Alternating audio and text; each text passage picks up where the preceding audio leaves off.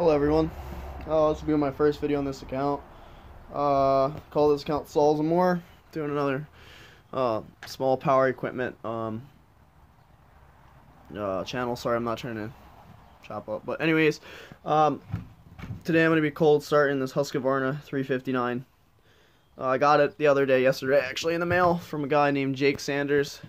Really cool guy. Um, shipped it to me. Got a killer deal on it. Um, loads of compression. Um, not as clean, not that clean, but you know it runs flawlessly. Um, he sold it to me for 275 bucks.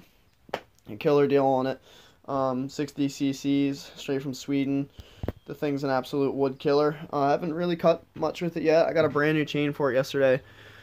Um, so that's it's all touched up. I had a 450 Rancher last month. I bought that brand new and that saw, however, uh, it actually the modulator burned up on it, and I've always wanted a 359. I've been looking for one for a couple years now.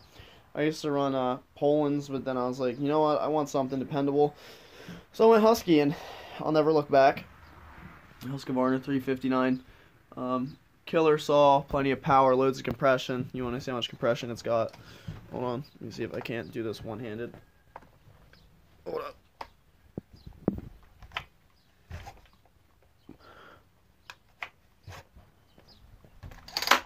Yeah, so um, so as you can see, it's it's got loads of compression on it.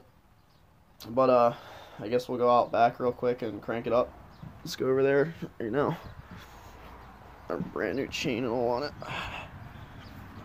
Started up on this board right here. I'm not gonna start it with the decompression button. I know it's there as an option, but I don't feel a need to, to be honest with you. Just uh, see if I can't get set up here. I'm doing this on my phone, so it's a little choppy up. Hold on. Let's see, that's my hand. Hold up.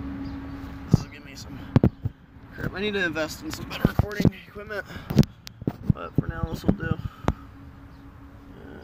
turn it. Alright. Let's give it a crank. It hasn't been started. Exhaust is uh, ice cold. See, hasn't been started since I got it yesterday. We'll choke out, set her down.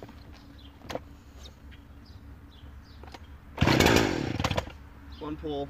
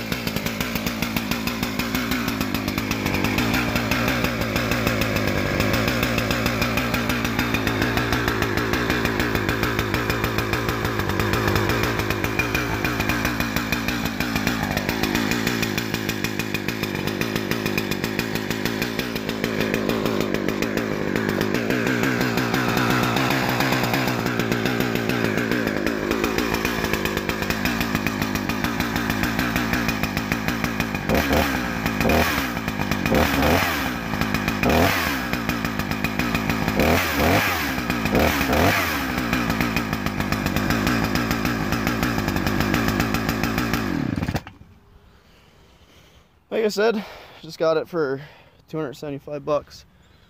Uh, she's not even warm yet. It's a high compression engine. You gotta let them idle for a while. But 275 bucks. I'll never look back. Towards another brand again. Stihl's not uh, bad. I've ran Stihls. I mean, I was complaining before that. To me personally, don't don't beat me up in the comments for this.